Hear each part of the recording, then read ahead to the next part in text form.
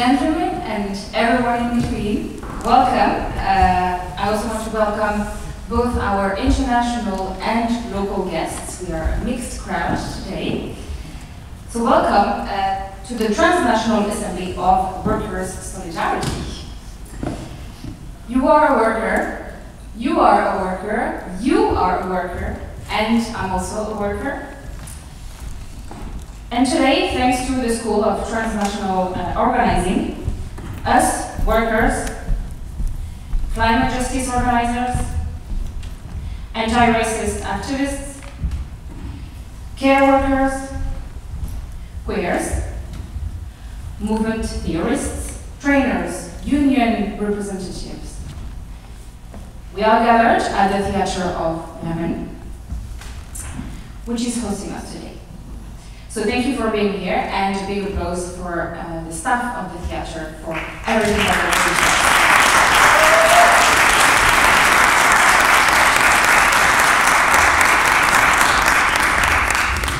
do. So the process of the transnational assemblies uh, has been developed by European Alternatives.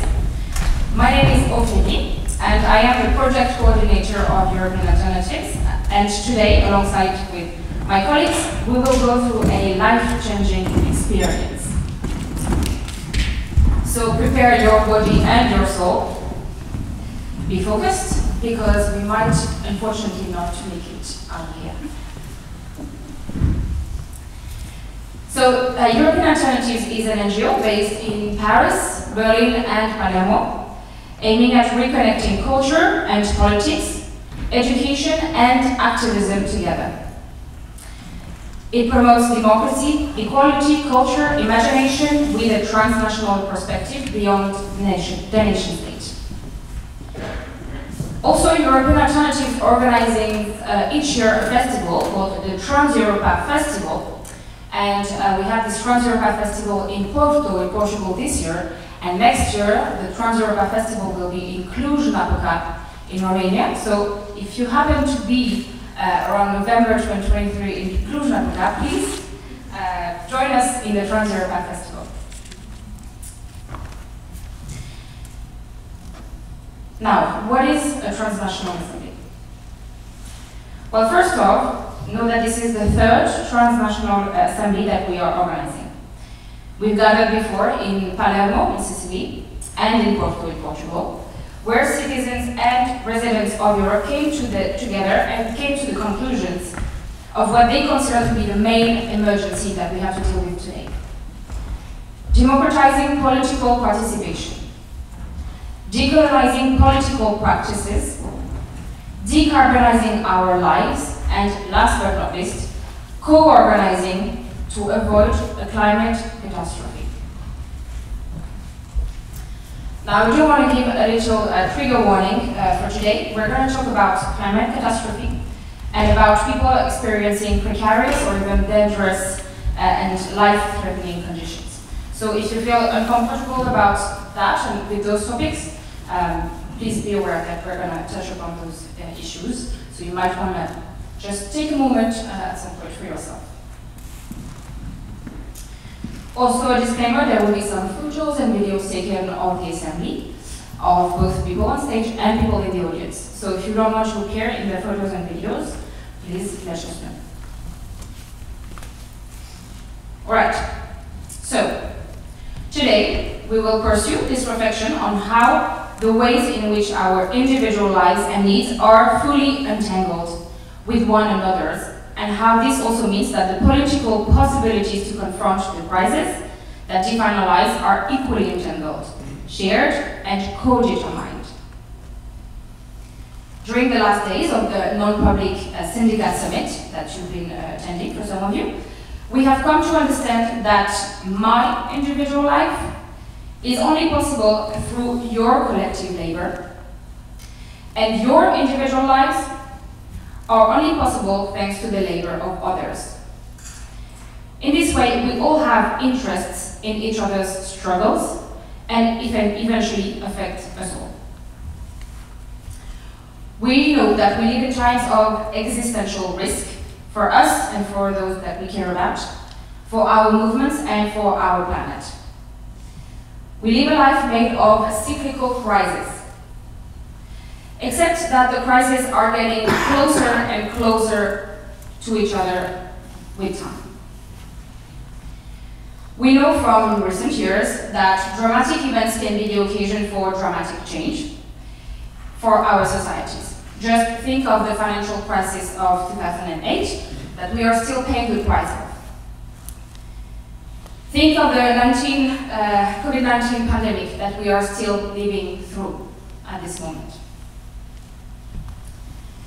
Think of the floodings and the forest fires that are destroying our lands.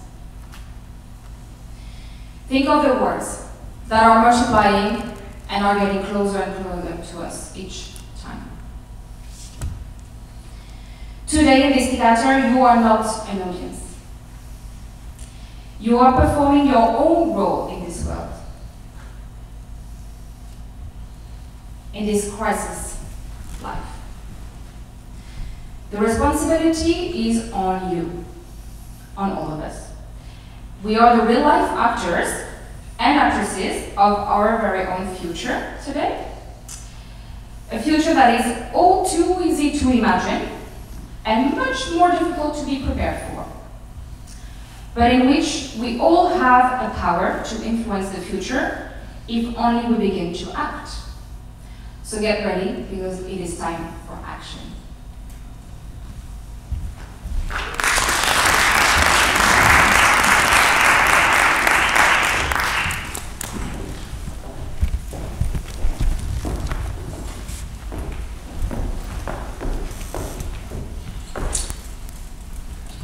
It's summer 2023. You look at a news report on your telephone. It tells you what you already know. It's far too hot. It's far too hot. The newscaster tells you to stay indoors if you can.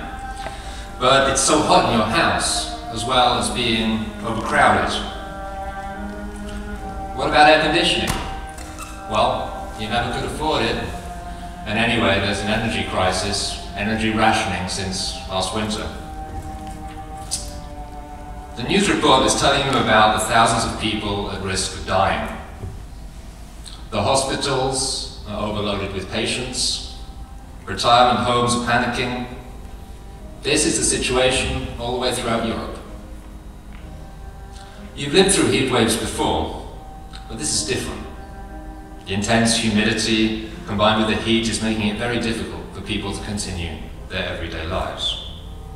Previously, these kinds of extreme heat events have been seen in Pakistan, in Mexico, in Saudi Arabia, but now they're here in Europe, where you live. The government is still trying to reassure, reassure people that this is only a heat wave like in the other years, but the Chancellor and the ministers are contradicting themselves. The European Commission is monitoring the situation and has said it's very concerned. Some of the national leaders in Europe are calling for the borders to be closed to prevent people fleeing the hottest parts of the countries to the coolest parts. You think back again to the COP climate conference in 2022, where again global governments did nothing to limit climate warming under 1.5 degrees.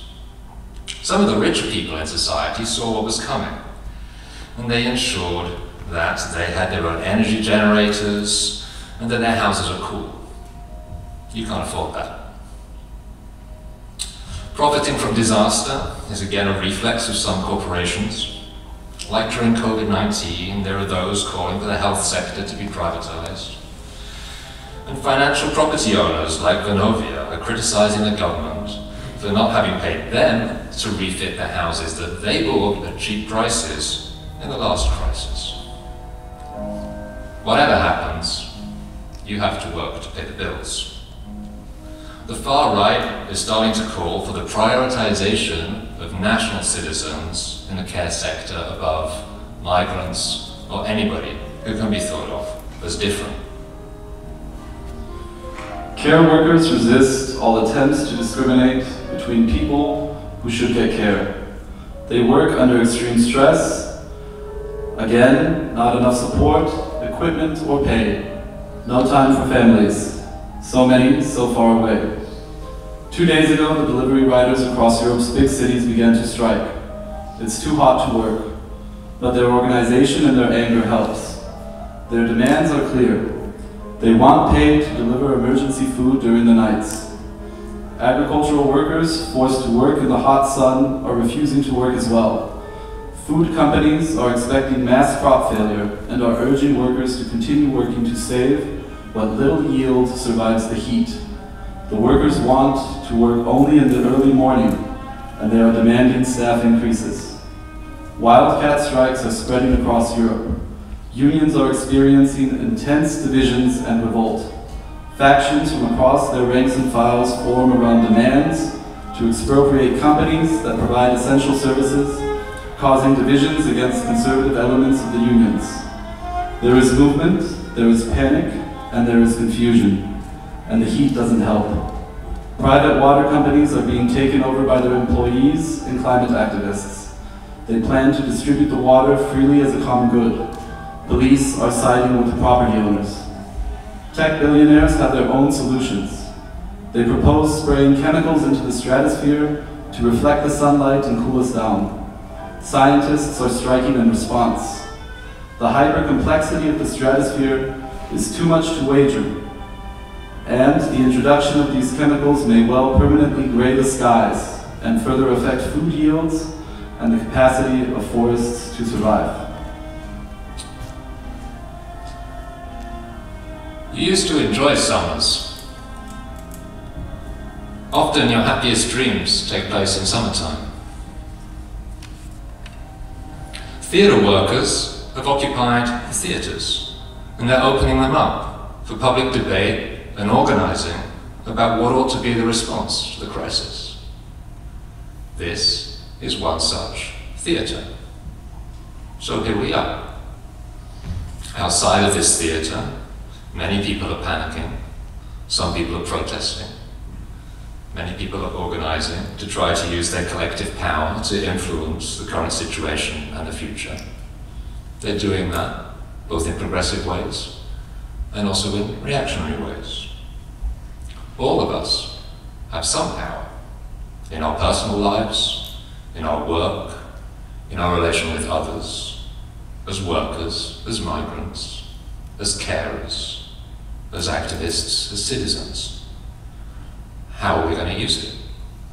How should you organize to use your powers as workers?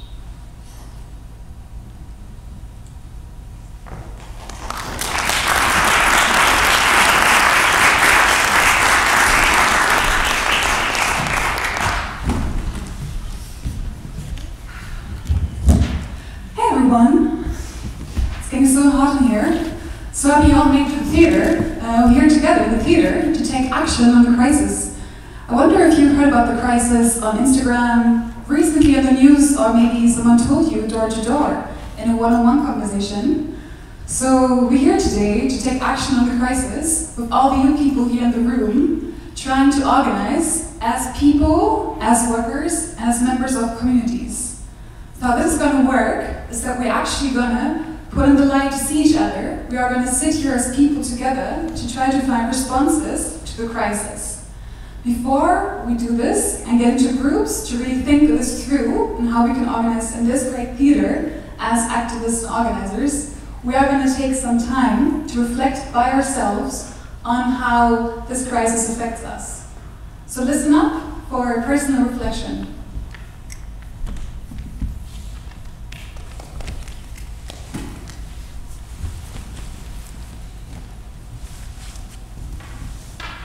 Now, we are all here together. That we are all together in this, in this crisis. One more crisis, which once again confronts our lives with unimagined challenges and questions. Some may say we are doomed. Others will say it's time to think positive and relax. I want you to take a deep breath. Breathe in and out. I want you to breathe in again and hold your breath for the next 10 seconds. 10, 9, 8, 7, 6, 5, 4, 3. Do you know when was the last time in your life when time seemed to stand still? Two, one. It's time to breathe out.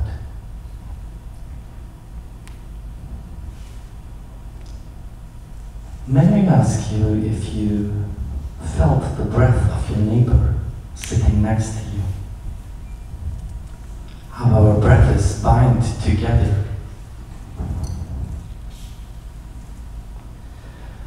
What we do now together is the essence of what is called to live. This is why we're here. A crowd of people, workers from across the globe, as a public striving to live in dignity.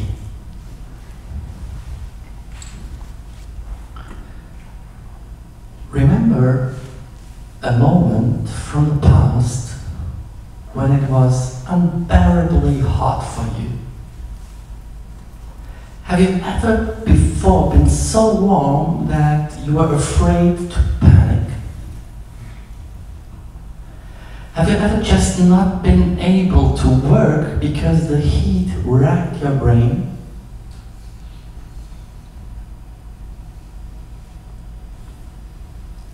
May I ask you to close your eyes? What is it what you see behind your very eyes? Do you the dark?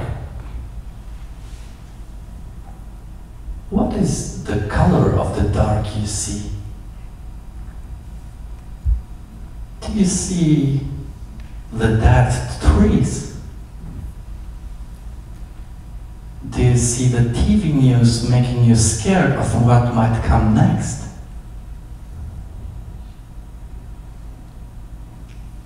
Do you see what your life looks like when the heat wave suddenly hits you?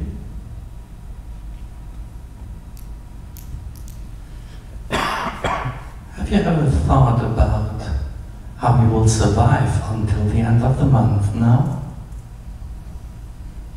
How many months do you think will it take before you can no longer afford to live? And how long will it take until you find the power to strike back? I'd like to ask you, what is easier to imagine for you? The end of the world or the end of capitalism?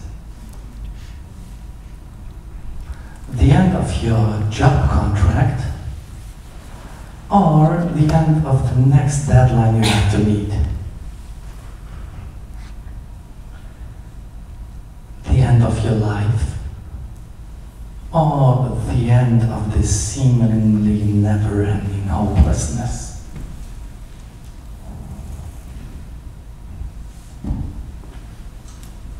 By the way, do you know the feeling that sometimes you would like to cry, but you just can't.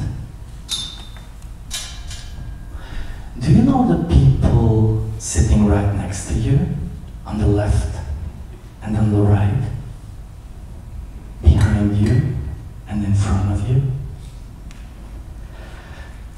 Are these the people you would need by your side in this moment of crisis?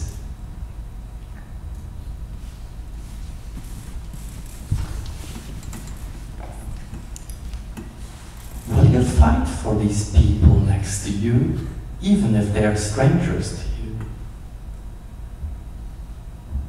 And if yes, how far would you go? How would you feel if I asked you to hold the hands of the people next to you?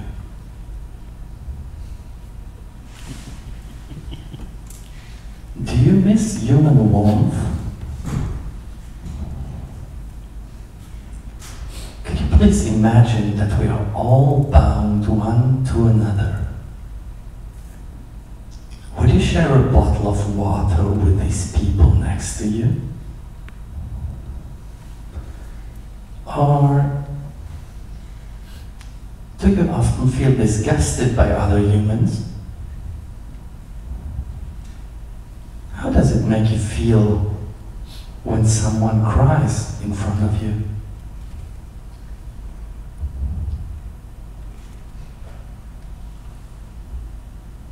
Are you a person who breathes hope into others? Who brings light into other people's lives? May I ask you to remember these moments in the past? These moments when you realized that the climate crisis is real,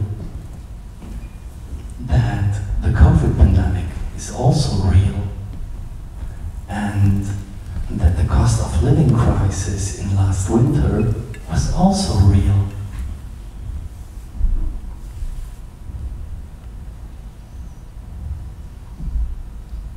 Are you ready to stand up for yourself?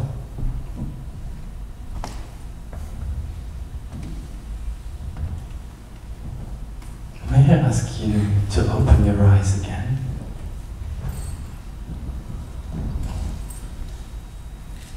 I would really love to know how politically depressed in this crisis we all are.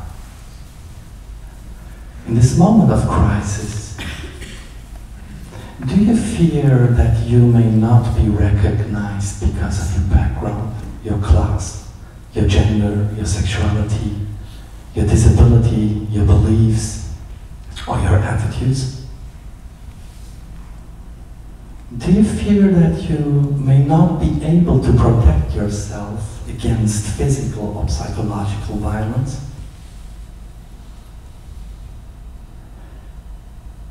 Do you fear that you may not be taken seriously by other people or institutions?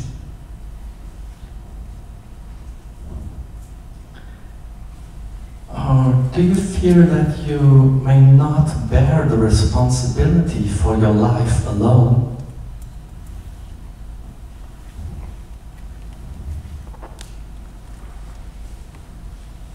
Do you fear that you may not have chosen the right course of study or the wrong profession to survive in this moment of crisis?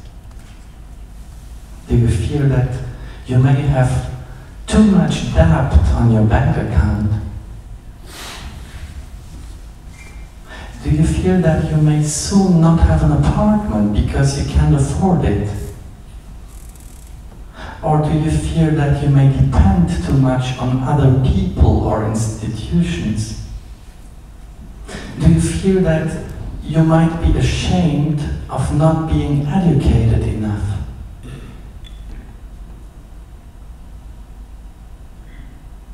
Do you feel guilty for not being able to get out of bed and fulfill your obligations despite your best efforts? In this heat wave, would you fear that you may not know how long you will have your job for? Would you fear that you may not find any more meaning in your life that brings you joy? Or would you fear that you may not have friends to stand by you and encourage you? Or do you fear that you may not trust other people? That wars and even more natural disasters may come that threaten our lives? Or that you may not be allowed to talk about all these concerns because you might not be understood, might be rejected, or might be excluded?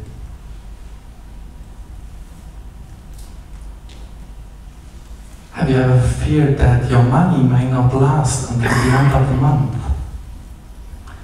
That you may have not enough ownership and control over the means and the ends of your life? That you may lose people you love in these moments of crisis? Or do you fear that all these fears may not go away in the future. Dear workers of the world, dear assembly, in the end, and there's only, there's only three questions. Are we ready to tell someone what we need to have a better life and work? Are we ready to fight in solidarity for each other? And are we ready to enter the stage to act together for our common good?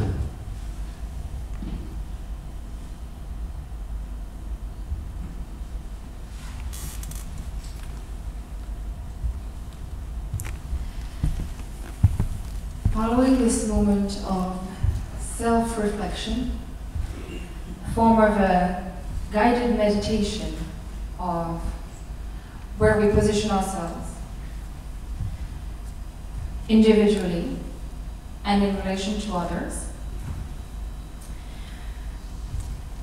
I want to share with you, because some of you were not with us this morning, um, when we went um, next to uh, the Amazon warehouse of Bremen,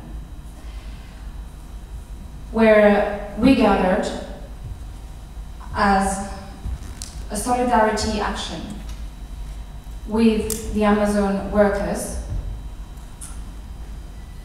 who will be on strike next Friday. If you happen to be um, in Bremen, you are more than welcome to come and, and support uh, the strike of the Amazon workers.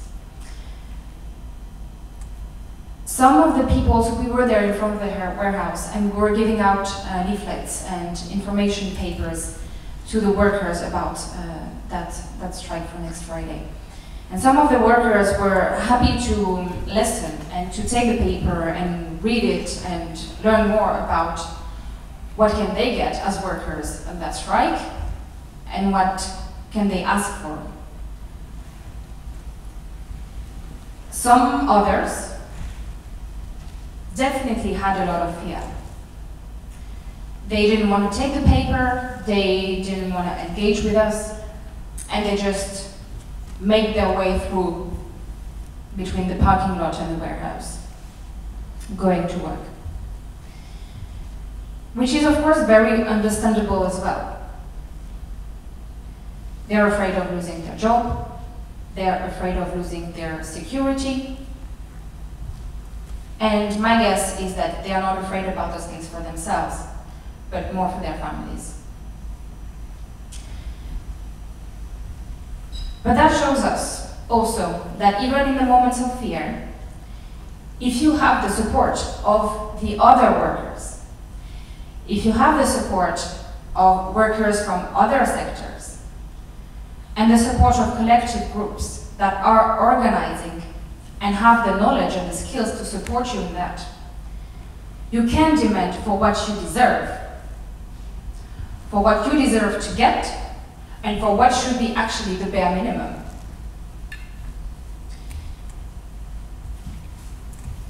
I'm sure a lot of you have had memories, hopes that came in your minds through this self-guided meditation. And I want you now, coming from those memories, focus on how do you want to act upon that. How do you want to transform your fears, your worries, into concrete actions for yourself, but also for the people you love. We're now going to have our first group discussion to act together, and Yana will give you the instructions.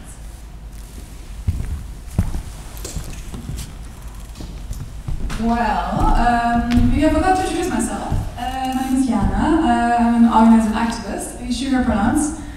And to be very honest, um, I feel like that reflection, being in this room, felt like that crazy, heavy, dark cloud that hangs around me every day. And I, I felt like my body was shrinking sitting there, to be, to be very honest, like on a very personal level. And I really feel like being, yeah, being here, here with these days, I think gives me a lot of hope, and I think is what makes me feel crazy empowered to do, keep on struggling every day. And that's what we as a group in this uh, theater are going to do now together. So we are going to get in small groups to try to think about ways in the very first stage how this imaginary crisis is affecting us as people. So us as sisters, us as siblings, us as friends, us as lovers. So really thinking about how this affects us. And we have some paper and some pens. We really want to get into an assembly mode and in small groups of six people. That's why I gave you a colorful sticker in the beginning to think about this for 25 minutes. And then we have two other rounds we do the same thing as workers and us as community members to try to think of us as part of these networks that we are part of as people. Yeah, so basically giving it up to this group, and we are able to actually spread in the room, so if you'd like to sit on the stage or somewhere else, the groups could sit anywhere. I'm really keen to hear from you what, you, what your responses are to this scenario. Right, so this is going to be interactive. So you do have a sticker uh, somewhere on your hand or your t-shirt, uh, and the sticker has a color and size. So you would find the group of the color and the size and find some word in the space, and I'll spread out some papers and some pens, and then we can assemble and get this going. All right.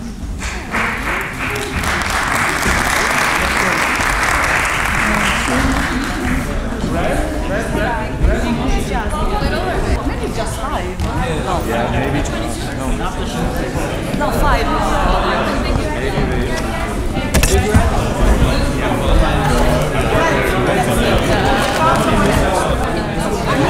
I'm gonna have a bit more quiet space. Maybe you, someone is hard of hearing or something.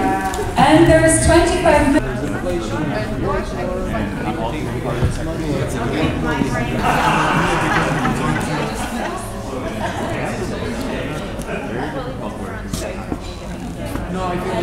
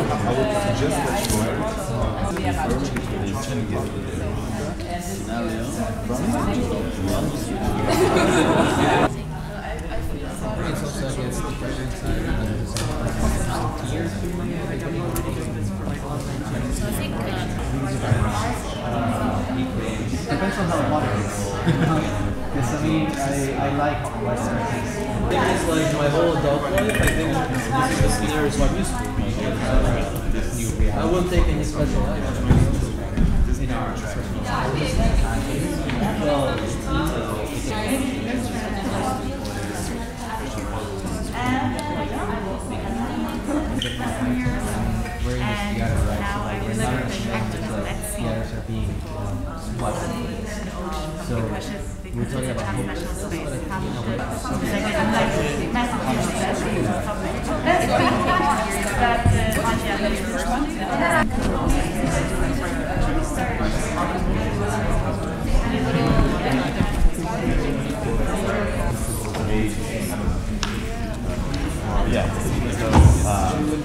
And I was once to be involved.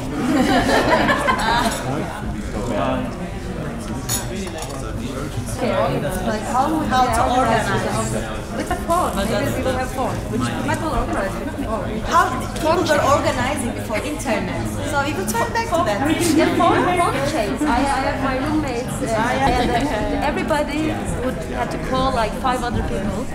So you have to call. Maybe you used it.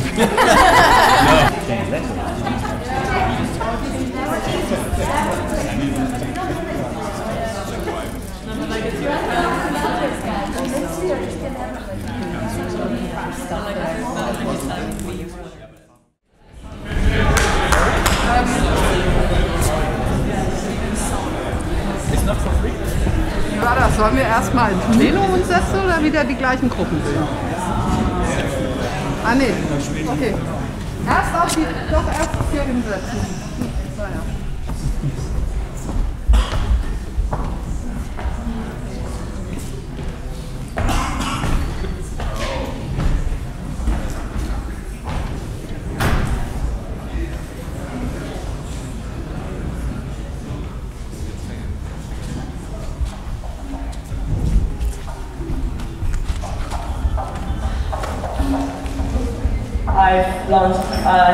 an and awareness campaign on the severe exploitation systems in Italy, especially in, uh, in agriculture and especially in tomato fields, so southeast of Italy, in Apulia. On Agromafia currently I am um, collaborating with Ivan Sagnet, which is the founder of NoCap, which is a campaign and um, a reality that brings in the market the products that comes, that are slavery-free, that comes from uh, situations in which workers and uh, earth is uh, protected and respected.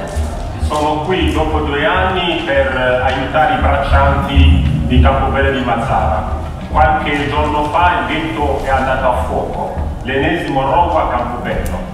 Il problema di Campobello è un problema nazionale, non è un caso isolato. Lo sfruttamento e il caporalato colpiscono tantissimi braccianti.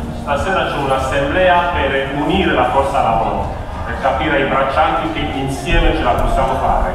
Noi chiediamo alle istituzioni regionali di disporre per i braccianti degli alloggi, perché non si può continuare a vivere la schifezza di Campobello di Mazzara. dove c'è mancanza di rispetto, dove c'è mancanza di diritti, dove è sfruttamento e quindi parliamo di questi ragazzi. Sono i ragazzi che fanno il lavoro agricolturi, i ragazzi che fanno un lavoro così duro, ma sono anche ragazzi che sfruttano e che fanno il lavoro ma senza avere contratti, che vivono una, in mezzo del nulla, senza luce, senza acqua, senza acqua. Ah, due settimane fa è stato un incendio lì nel ghetto dove è morto anche uno dei ragazzi. Hanno perso centinaia di documenti, loro soldi, anche loro negozi, anche loro macchine. La notizia è già ovunque, ma in posto c'è tanto, tanto da fare, ma c'è poco fatto. Quindi noi cerchiamo di portare questa cosa in campo per le per il Mediterraneo, a raccontare chi sono questi lavoratori, anche le condizioni che lavorano, vivono lì e anche le loro proposte che vogliono.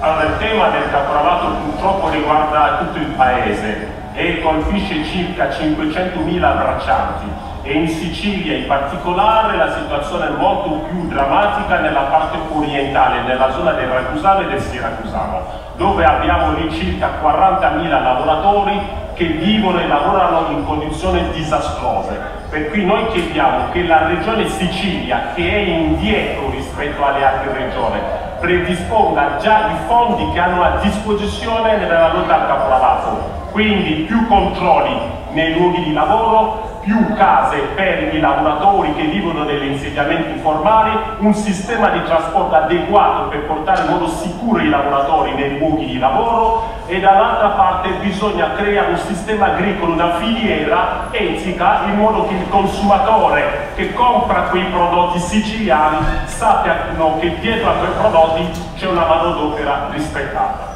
Questa bracca qui dietro, quando lo facevamo, c'erano giornalisti che avevano il martello, un ciode a fare la solidarietà, che magari nella vita non hanno mai fatto un bracco. C'erano avvocati che non hanno mai toccato, ma insieme abbiamo fatto questo bracco. Quindi io ho visto che l'arte può riempire il buco che manca sulla lotta.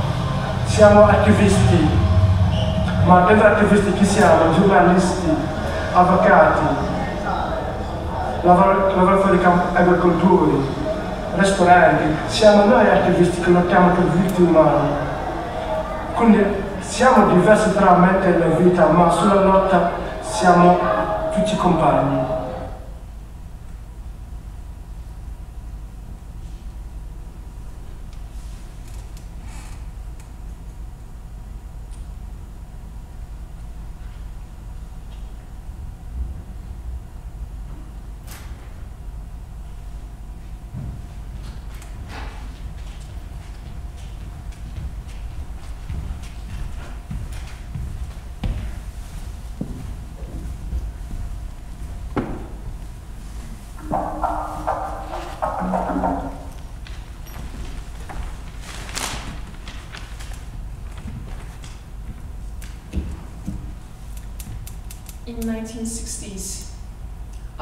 World War II, after this huge trauma, Germany needed to be reconstructed.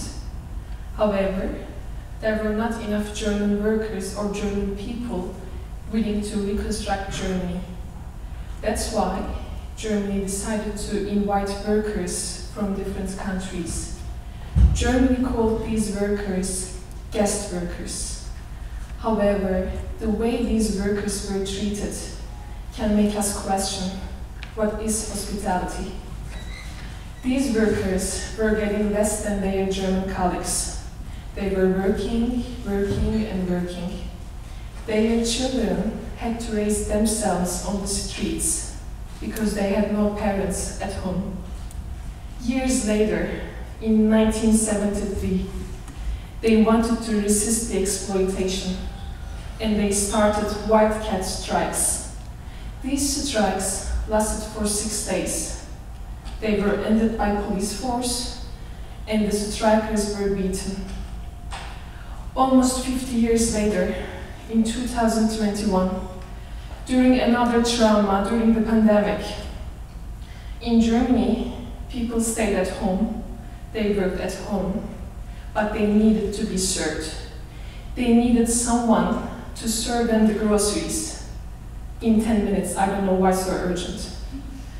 And migrant workers were the one serving them. They didn't have enough equipment, their bikes were mostly broken, and at the end of the month, they didn't even get paid. Months later, this time it's different, not years, but months later, they started wildcat strikes. At the end of the strikes, these people managed to get some of their demands met. And people said thank you to them, congratulations, but nothing more. Two years later, in 2023, there's another trauma. The heat wave, the extreme heat wave, it hit Germany as well. Again, people stay at home. They don't want to go out. They work at home. They don't want to risk their lives. The trees behind me, they die. But again, they need to be served. So who is going to serve them? I suppose you know the answer? Yes, migrant workers. But it is okay. You know, they can risk their lives. Most of them are not even civilized. So let them die, right? But no, this time it is different. This time it didn't take them years or months. This time it took them only a few days to start wildcat strikes. And I believe at the end of this strike, they will get more than congratulations. Because they know what happened 50 years ago, they know what happened two years ago, they know what happened last year, because we talk about it. And we are going to talk about it. We don't forget, we won't forget. Thank you.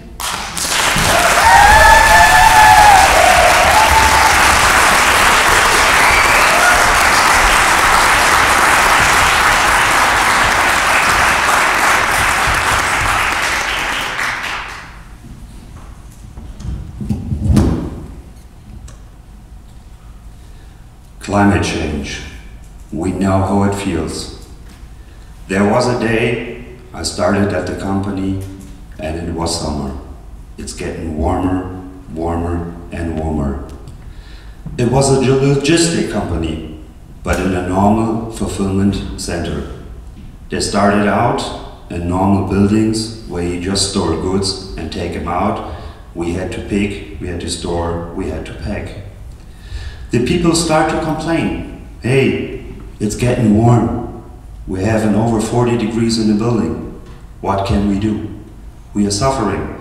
We're passing out. We need ambulances. Can we at least get some water? Can we adjust the working shift times? The company said no. We have to fulfill the demand from the customer. So it was carrying on and on and on. And then the people talked. They're learning. They were talking. And there was a guy who said, okay, let's start. We do a kickoff, and that was a kickoff to organize. And the movement got more and bigger and bigger and bigger. And the company also got bigger, bigger, and bigger. Where are we now? Okay, we have the corona crisis. The company got huge. They couldn't pick up with the pace. So they hired everybody they could. The people were coming, were leaving, and the old ones, they worked themselves to death. They're almost broken. Having heavy, healthy issues. But we, we will survive, and we will stand, and we will fight. You know, when we went there this morning, I always have one song in my mind, you know, like from Bob Marley, stand up and fight for your rights. And that's exactly what we will do, and eventually we will make the company pay.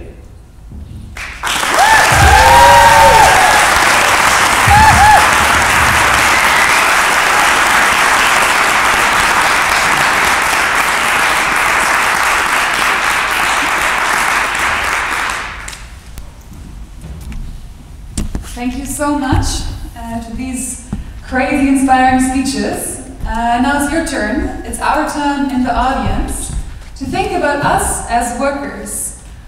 What are you working as? Are you working as a writer? Do you maybe work at the university? Are you an artist? Are you a precarious worker working as a freelancer? So we like you now to get back into the groups, the same groups you had before, and talk about how would you, in this scenario, organize as workers. So how can you use your, by withdrawing your labor power, your power to actually make change? Is that through a strike?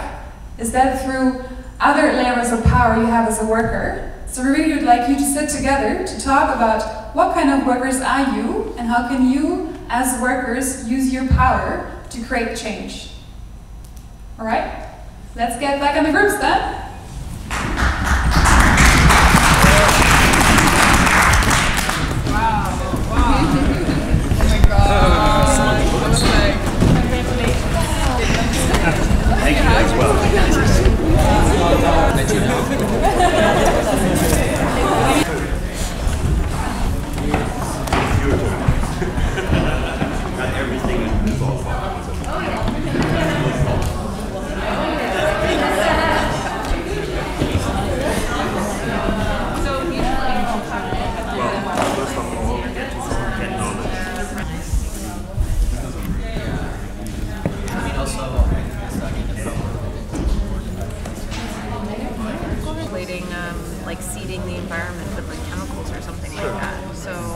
How sustainable is that? Who's financing those? Who's financing those people? And like, I I guess those would be the organizations that we want to like target. Um, But basically, if you're like taking over a bank nowadays, people can work from home, and it's all.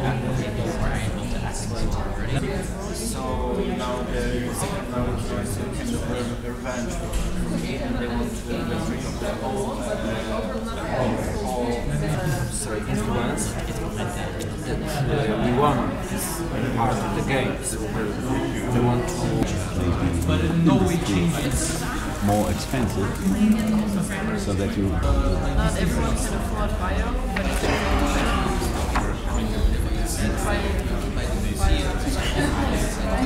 and then the crisis, it's not, it's not the real crisis because we don't. Uh, Weapons maker. So at the moment, I'm uh, at the Thank you. university, but uh, I'm working also as a tour guide, traveling a lot.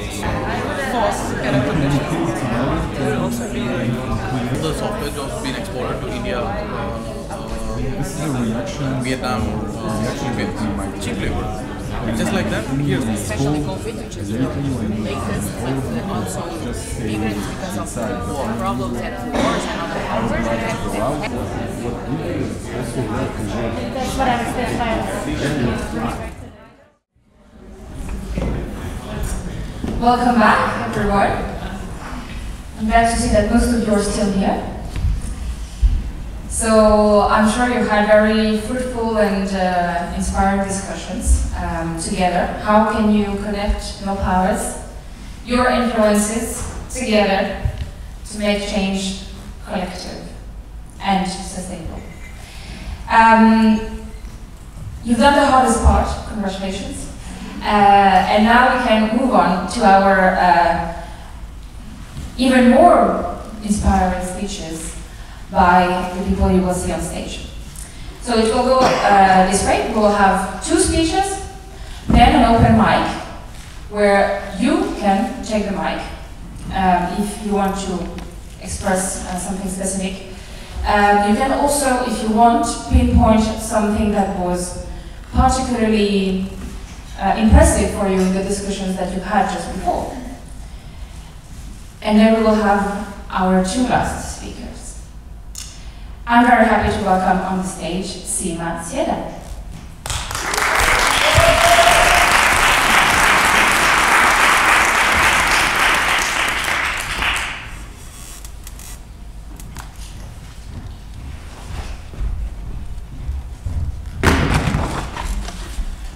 Citizens, workers, activists, I know you're scared. I know you've never experienced this level of heat before. You've never seen so many dead trees around you. You've never seen this level of panic. But we also know why it's happening, and we also knew that it was coming. Corporations operating for greed and profit and ignoring how they are destroying the planet. Corrupt governments who have submitted to these corporations and did nothing as the planet burned. They have caused this crisis, and they will not bring the solutions. We know who will bring the solution. It is us, the workers, united together in our associations, the citizens and the activists building in our communities. And we've already seen an amazing and inspiring example of this. The very theatre workers who've occupied this space and made it possible for us to be here today to organise and decide democratically how we are going to solve this crisis. So let's give a cheer and applause for these amazing workers.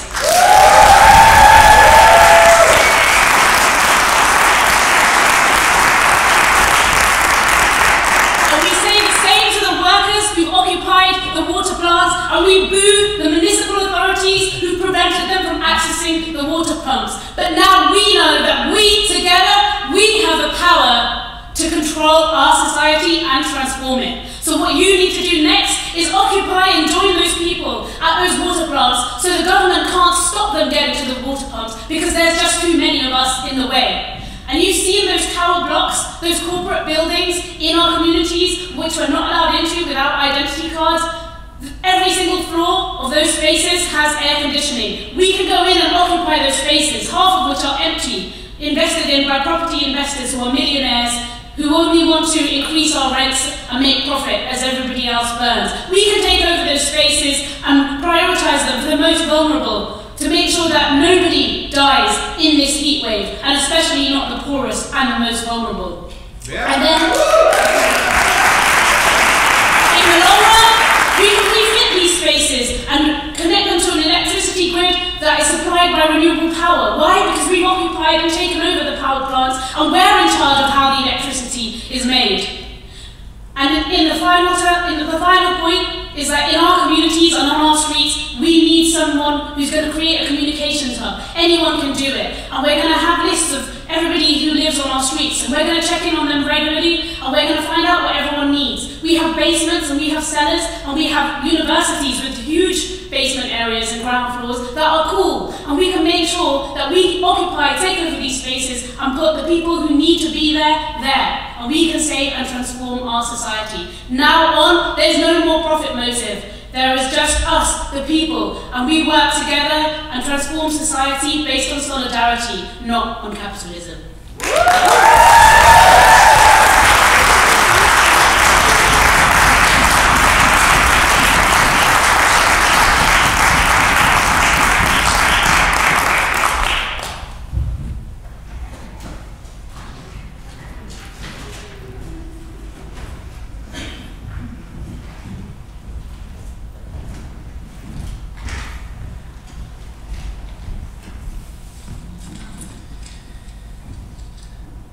Dear comrades, friends, colegas, y compañeros, this ecological breakdown we're seeing unfold in front of us is only a reflection of our fundamental alienation with nature, of our incapacity to relate and to acknowledge our interdependence with the planet that we're living in, with the territories that make it, with the communities that inhabit it, and ultimately with one another. These times that we're living in have a sense of urgency, indeed.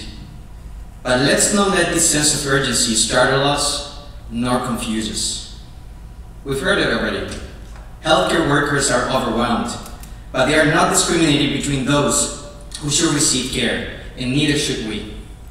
And so I think the most important question we need to be asking ourselves as we face this crisis is how do we make sure that we're, that we're all cared for? How do we make sure that our comrades can strive for safe and fair working conditions?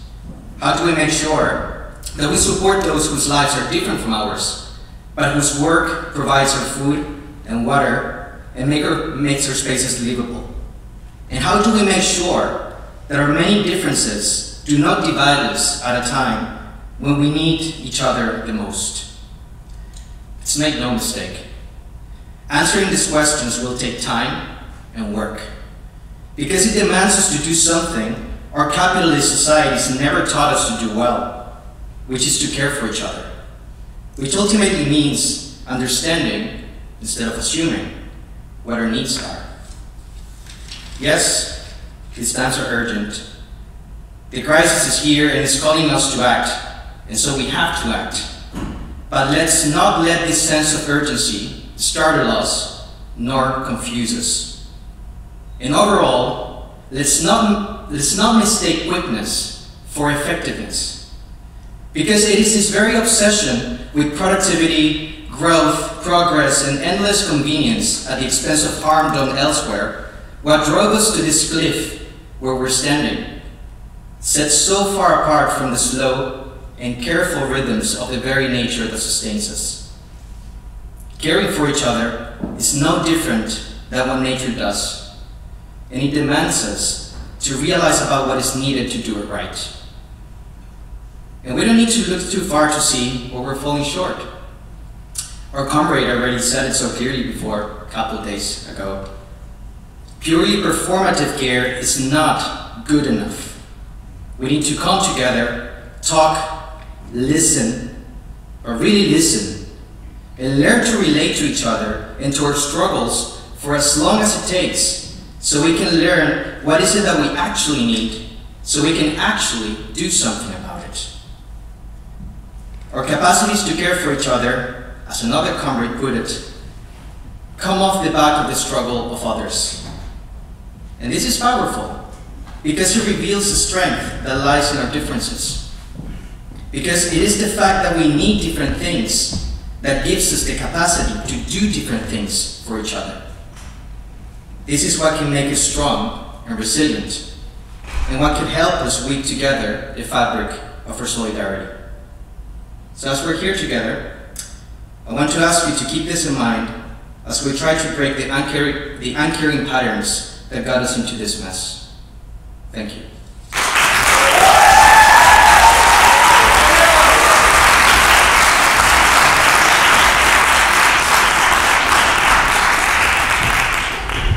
Thank you very much to uh, the speakers, Sima uh, and Camilo. Uh, and now I want to open the opportunity for you uh, to speak up if you wish to do so. You can just raise your hand and we will circulate uh, this microphone or another microphone. We will find a microphone. Uh, so yes, feel free um, and it's your opportunity to, to speak up.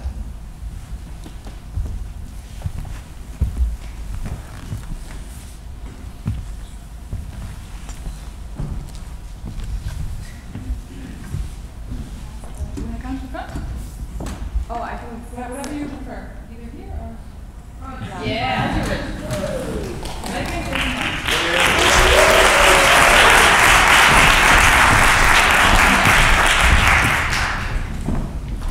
Hey everyone.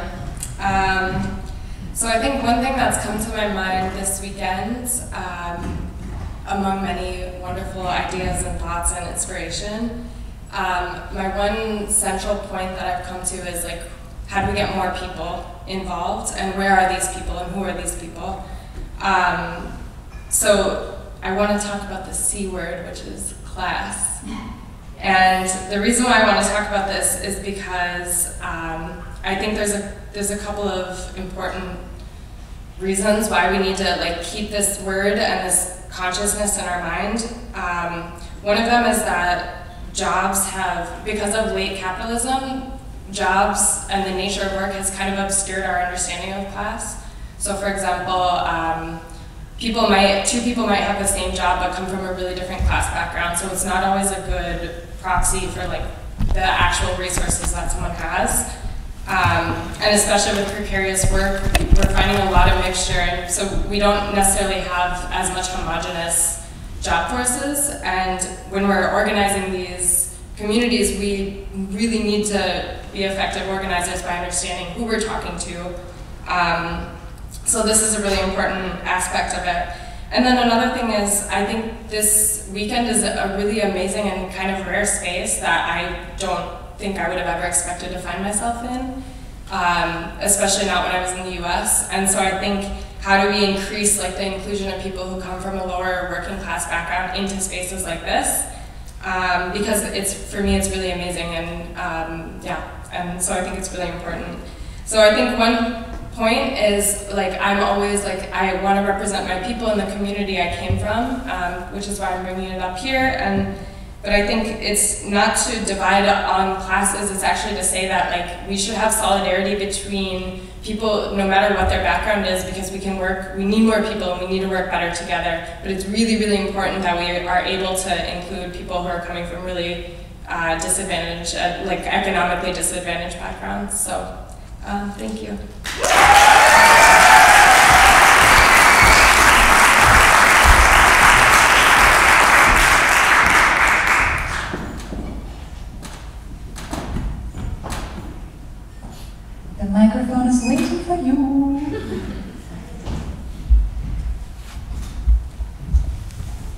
Hello, um, I'm also very grateful for this um, space and having this chance to talk with people in person. I think for me that was the biggest um, uh, change because I, I mean, I guess um, I, I come from another country and I had my activist community there and I moved to Germany and I somehow had a hard time to find a community here. But then I had different um, identities here and then I started slowly to build it, but then the pandemic happened, and then I somehow felt always connected with people online. And I think it has a power, but even in the first practice we did in this discussion group when we had this dystopic future where we might not have internet, um, it's, it's really good to reflect the power of being with people in the same room. And um, uh, I, I really appreciate this, and I will seek places for creating such an interaction again because I think this is uh, really different than um, tweeting. so, yeah, thank you for this chance very much.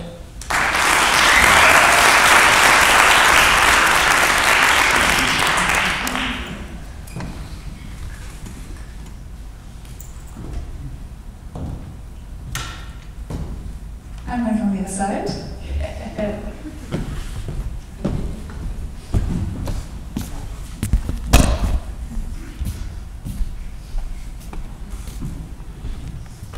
Is there anyone on this side I'd like to say something?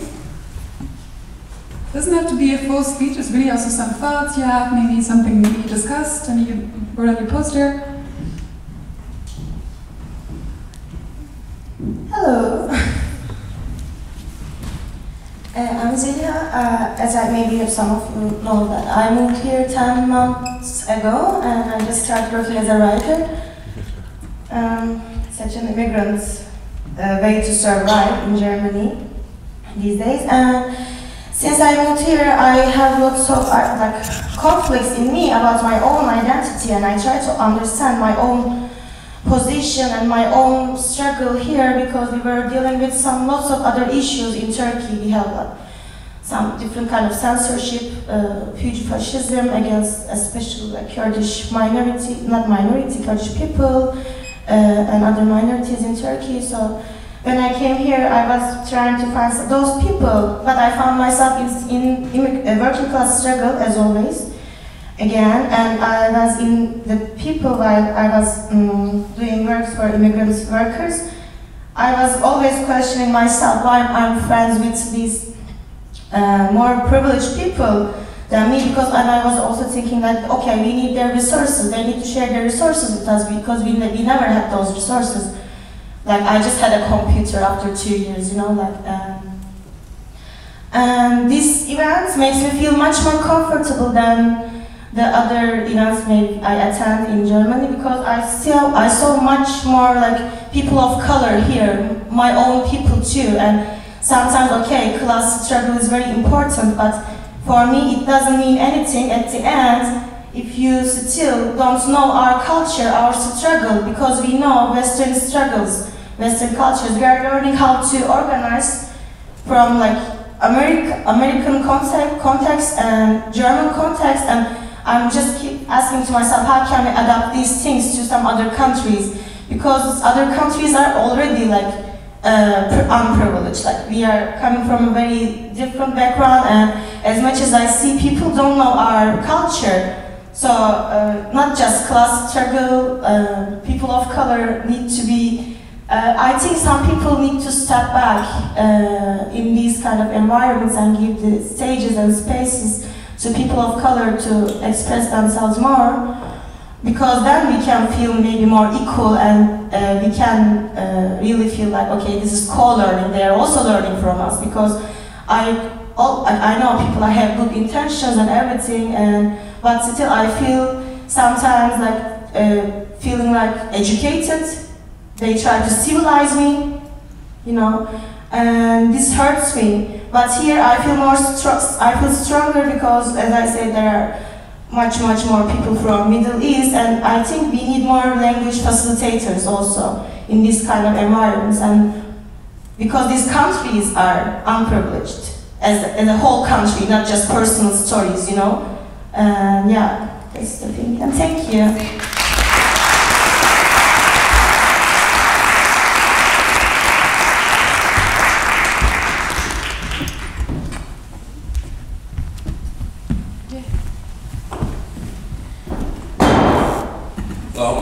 I've been around quite a while um, with Works Council activism for employees and um, you know for the working class, and I'm always surprised how many union busting is going on, and um, I'm always asking the question: Okay, how could that be? Uh, what's the purpose behind all of that? You know, and for me, I came to the conclusion it's about the capitalism. They're afraid of us okay? Because they know that we are getting more, that we're getting stronger, and that we are coming for them to beat their ass.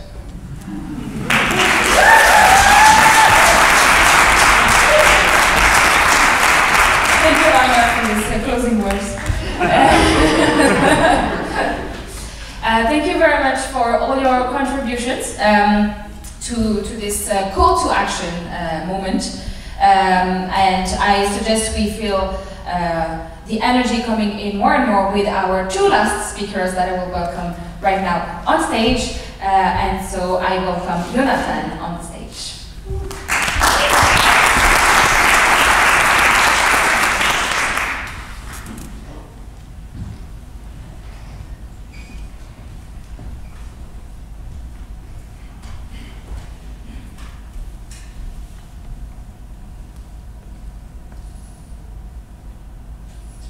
Let's talk about the forbidden fruit.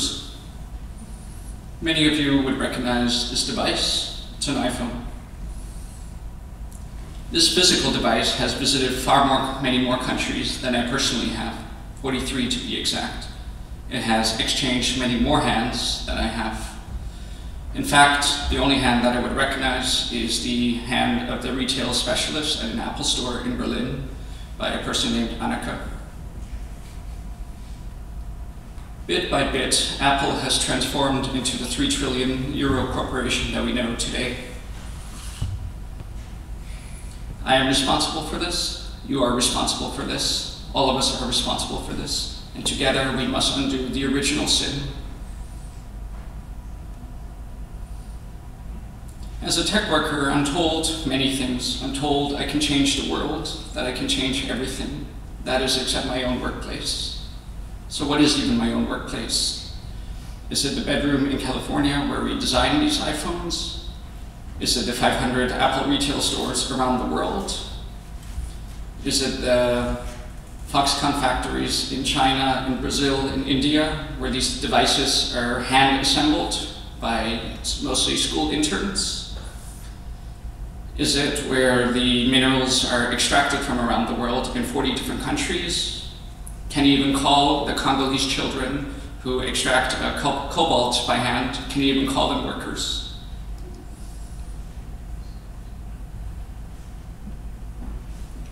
For 50 years, in the wealthiest country in the world, workers, not for the lack of trying or the lack of want, they were not able to organize their workplaces at Apple. But this year, three different Apple stores have unionized and dozens more are to follow.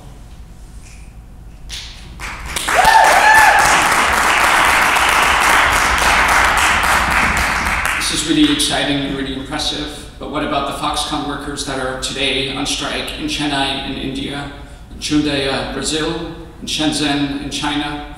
Are they not Apple workers too?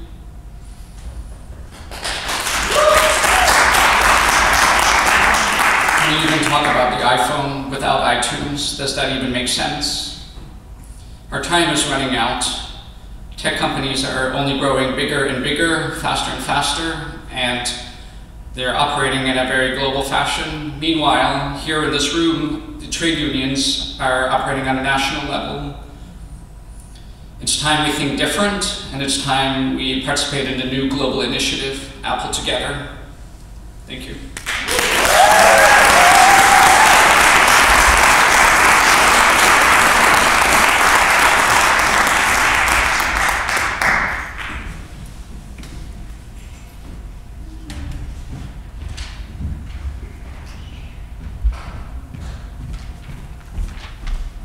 Hi.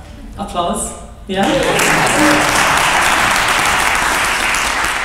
Um, well, there's a lot of light. Uh, okay. So I wanted to talk about what to do before the end today, and whatever we imagine the end to be. And to do that, I wanted to propose you the image of a flower. The first kind of flower that came to my mind is a lotus flower, but that has too much of an association with virginity and bothers me. So I want to ask you to um, to think of another one. Whatever comes to your mind is perfect. I want you to ask you to close your eyes, if you can, and give the flower to me. And before you open your eyes, I ask you to imagine the environment around the flower. Where are you picking it from? Did the flower resist you? Are there others around it? Now come on, give it to me. And you can keep your eyes closed, or you can have them open, as you prefer. In the simple gesture from your hand, I believe you haven't simply given me a flower, but you have given me your entire human experience or rather the synthesis of everything you have lived, read, thought, and felt till now. In a millisecond, all of this is condensed into the flower you imagined. You gave me your aesthetics, your imagination, your taste, and your touch. Perhaps you gave me a flower that someone gave you. But did you not, but you did not give me only your personal synthesis of your human experiences. No, because you're not the only eyes in this world. You gave me all the human experiences on which yours necessarily depends on.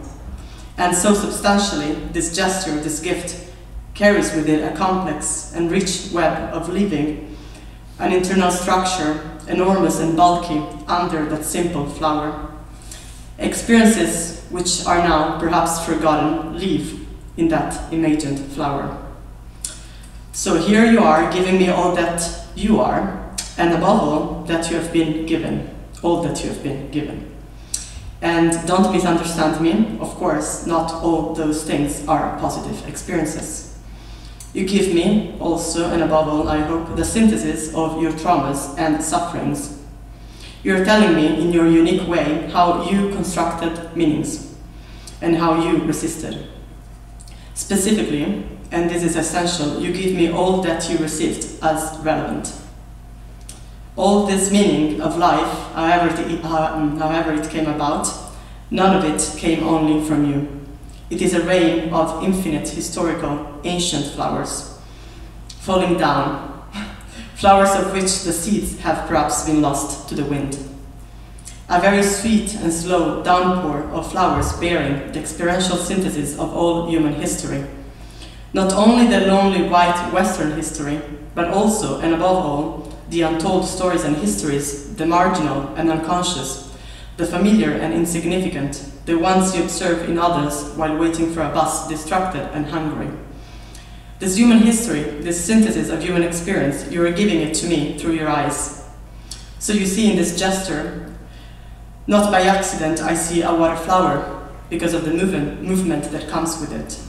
In this gesture is the entire world, all mixed up and cut up with itself, like a structure of purgatory with its ups and downs, and out of it, it comes your will, your will to give something to another being, a sign of contact with the world, an urgency to give something. In other words, they create, to create an inheritance around an imagined flower. When we donate something, we are donating meaning, the urgency to give and receive. We are donating our collective experiences to other people. We have been doing a lot of this this past days, I think, no? We are donating our collective experiences to other people, and in doing that, we might save them. Because there, is, there might be something in our personal experience that resonates with people around us and has a profound meaning to them, even if we ourselves forgot it. We are all fighters here, and we all found meaning in something, and that's how we survived. So, what to do before the end? This was the question that we had to answer today together here what to do before our societies collapse. We have to resist, that is obvious. We have to be sand, not oil, in the gears of this world, this capitalism of death. We have to fight against the 1% who made the, the planet uninhabitable. Yes, we have to fight to protect our communities, the people we love. And to do so, I think we have to return to the place where we picked the flowers. I myself will return to the water of the pond where, in a millisecond, I picked the lotus flower, like some sort of watery nymph. Because there, in the choice about what to pick and leave to the world, in the choice, not in the gift itself, there lies the meaning, my meaning, of being in the world. There resides the will to resist in the gesture before the gift. In the moment when one says to oneself, maybe I have something to give to another, maybe this urgency I feel is not just mine, maybe this hurts you too, and maybe together it hurts us less. Come here, come, come to me if you want. There is space in these waters for each and every one of us. Thank you.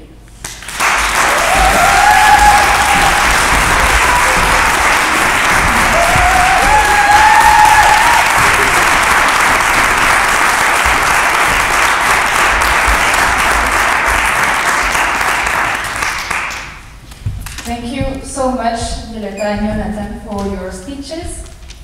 Um, I, I want to share with you the name of the flower that I had in mind, but I don't know how to translate it. Yeah, you are Uh, it's, uh, I can describe it. It's quite big, it's quite fluffy, and uh, it starts as pink and ends at, as white. I'm not sure it's a good indication, but you, you can throw your, your guesses. um, thank you so much. Um, of, because of all of what we have experienced today together and felt, um, I, I am overwhelmed, of course, as I'm probably not the only one. And, well, we wanted to make sure that we were closing our transnational assembly on worker solidarity with someone who can um, put the right words on what we've experienced together today. So I welcome my colleague Daniel to the stage for that.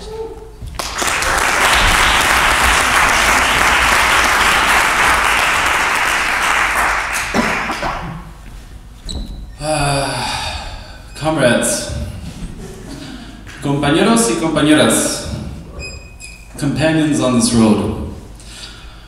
Of what is a union? It is made of worn out hands, of tired feet, of burning eyes, of draining minds, of injured backs, of worried brows, of sweat stained clothes, of countless headaches, of tissues filled with tears, of sleepless nights, of unwell stomachs, of grinding teeth, of endless sickness, of haunting sorrows, of countless hopes, of dreams deferred, and yet of boundless loves. Bound together, and bound as one, against asymmetry and against the odds.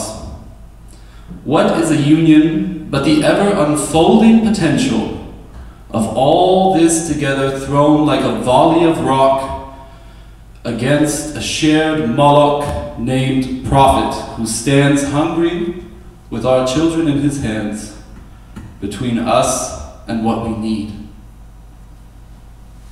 What catastrophes and what calamities await us is still an open question. Possibility is not molded beforehand, but shaped by the multitude of hands that actively make it. What we wager is our hands and our love to help it grow. What we wager is the power of union, and our weapon is the withdrawal of the very labors that dig our graves in the name of profits. It was the youth that did it first, after all. It was our mistake to merely applaud their strike as Moloch still consumes them. It is our task to now spread the strike and bring profit down for the sake of all of our tomorrows. Join us in becoming the pride of posterity. Spread ecological syndicalism into the gears of every workplace from which a new world may take root so that we can care for ourselves, our loved ones, and the land we depend on without the chains of profit, without the chains profit has placed upon us. Jose Marti once said in regard to his cycle of struggle that now is the time of furnaces, and only light should be seen. Echoing Leonard Cohen, into this furnace now I ask you all to venture, you whom I cannot betray.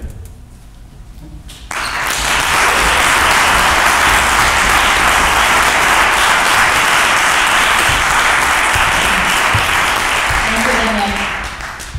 Um, as we are closing our uh, assembly uh, today, uh, I want to thank you, of for your active participation and your trust for uh, spending your time and energy uh, with us.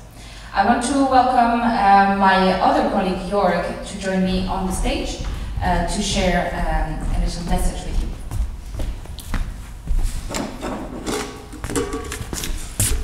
So folks, I'm, I'm really moved by these three last three hours and I can't add anything more what all the others have said.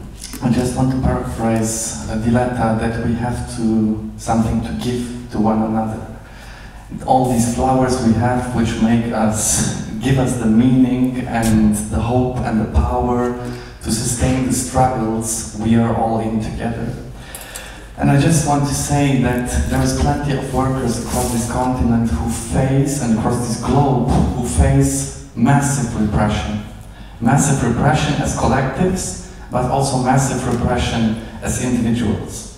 We know Laina, who faces a lot of court cases. We know people like Sheikh, who you have seen in the video, who also faced and who was even in prison. Um, there is other people um, in Berlin who are being fired.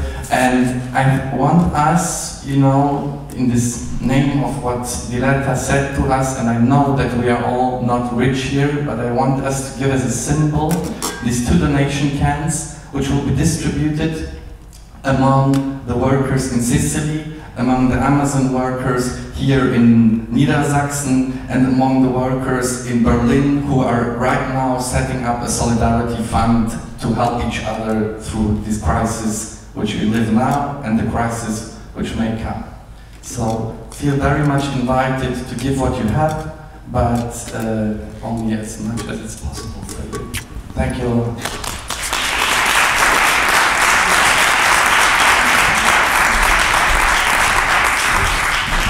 Um, and you can afterwards um, put the cans in the cafe uh, so that we find them again. Thank you. Um, this is uh, the end now, for real. Um, I uh, ask you please uh, to keep in touch with us if it's not already, if we're not already in direct contact. Uh, you can subscribe to our social media channels, to our newsletters. This is the best way to keep in touch with what we do and where we are, because as you can see, also we have a lot of activities in uh, various places. Uh, so this is really the, the best way. I invite you now to continue the conversation in the cafe um, noon. Um, you will find also some uh, collections of posters and so on.